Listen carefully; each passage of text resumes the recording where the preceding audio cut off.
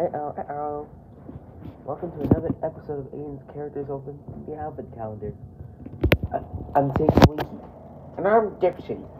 And today's number we're opening is number seven, which is right about here. Tinky Winky uh, placed the calendar, and I'll open the door.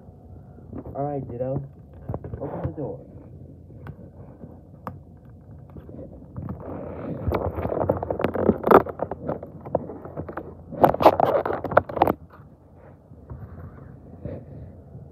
Ooh, Santa's hat.